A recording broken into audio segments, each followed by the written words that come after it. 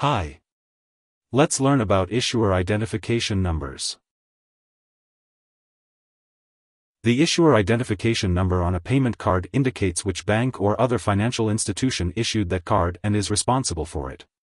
These numbers are found on credit, debit, and other types of payment cards worldwide. Issuer identification numbers are sometimes referred to as bank identification numbers, BINs. Credit card numbers vary in length, frequently 15 or 16 digits but sometimes as many as 19. The first six or eight of those digits represent the issuer identification number. The very first digit is known as the Major Industry Identifier Number. These numbers were established by the International Organization for Standardization ISO, and the International Electrotechnical Commission in a standard known as ISO-IEC 7812. The MII indicates which industry the number is associated with.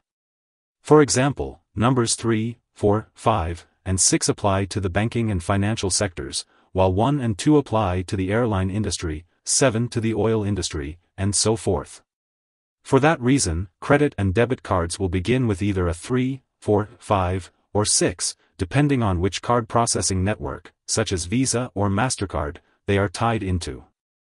Specifically, to use some well-known cards and card networks as examples, Visa cards begin with a 4, MasterCards with a 2 or a 5, Discover cards with a 6, and American Express cards with a 3. The remaining 5 or 7 digits in the IIN indicate the bank or other financial institution that issued the card. Following the IIN on the card will be a series of numbers unique to that specific cardholder. The very last number, known as the check digit or checksum, is used to validate the card number through a computation called the Luhn algorithm.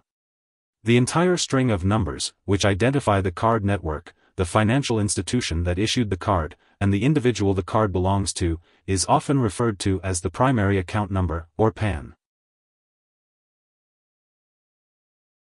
Issuer identification numbers, and the individual account numbers that accompany them, allow merchants and others to verify that a card is valid and that the user's account has sufficient funds available to cover the transaction, and they make it happen almost instantaneously.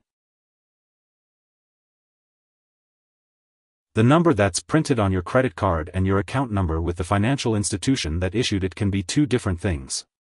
As the credit bureau Experian points out, if your card is lost or stolen, then you'll receive a replacement card with new credit card numbers, but your account number will remain the same. If you don't already know it, you should be able to find your account number by consulting your monthly credit card statement. A virtual credit card number is a number that's different from your regular credit card number but linked to the same account. Virtual credit cards, sometimes called.